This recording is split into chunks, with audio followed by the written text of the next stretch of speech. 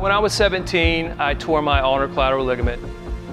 The injury was traumatic and created the passion to help people not go through that.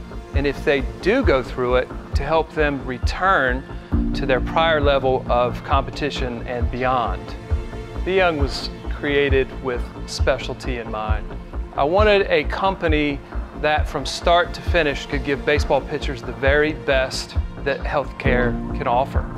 In order for me to effectively accomplish my goal of giving the best care, I must understand the motion. Pitching is very complicated. It's a very anaerobic, ballistic movement pattern. From the time the foot lands, you have a tenth of a second to release the ball. You can't see this with the naked eye. You cannot evaluate a pitcher with high-speed camera. You just can't see triplanar motion with 2D.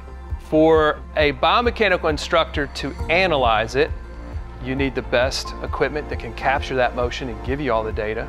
And that's where Qualisys has been huge. With Qualisys, you're getting 3D data that is extremely accurate. You can rely on what you're seeing in the numbers, and then through that, you can help these guys avoid future injury and throw harder.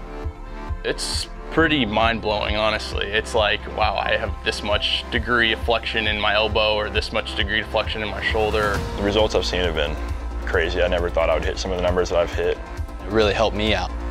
You know, it gave me a lot more confidence with my pitching, at least, that's for sure. People know that when I analyze them, it's built off of objective data. It's not, you might be throwing harder.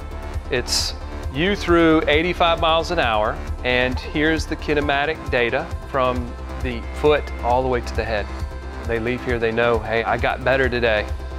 I was kind of sitting at a slow speed around 83, and I was kind of stuck there at that point.